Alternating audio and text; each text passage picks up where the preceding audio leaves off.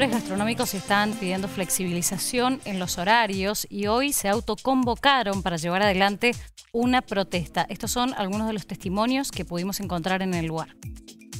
Creo que Suárez está bastante con el comerciante, eh, pero esta restricción horaria que tomó, esta medida no, nos mata, o sea, nos mata, veníamos de a poquito levantando, ya casi poniéndonos al día con, con carga social, impuestos y todo eso, recuperando por ahí el trabajo para los empleados e incorporando más gente en nuestro local. Y lamentablemente con esta medida ya ayer tuvimos que suspender a algunos chicos y, bueno, es lamentable. Tomar una misma medida del año pasado, donde no se recuperó ni la salud ni la economía, me parece que tienen que aumentar los controles y que realmente sean controles verdaderos, no controles como para salir en los medios y decir, uy, clausuraron tal local, que es lo que está pasando.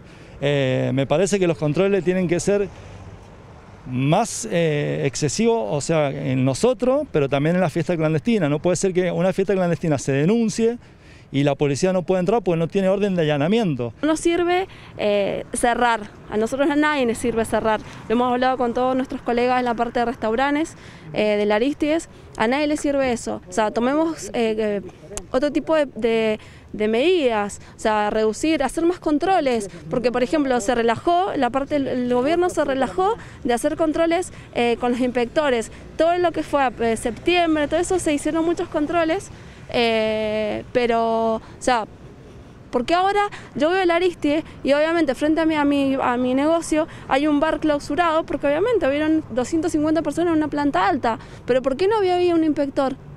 ¿Qué necesidad de llegar a eso? Ahora yo no veo que estén, o sea, volvamos a tomar medidas de, bueno, de aislamiento, no de aislamiento, de separar un poco más las mesas, pero no nos viene bien cerrar. Yo también tengo personal y tengo que reevaluar, a ver, ¿quién dejo sin trabajo? ¿Qué decisión tan difícil es dejar una persona donde tiene una familia sin trabajo? Coincido con el señor que dijo lo mismo, el tema de las fiestas clandestinas.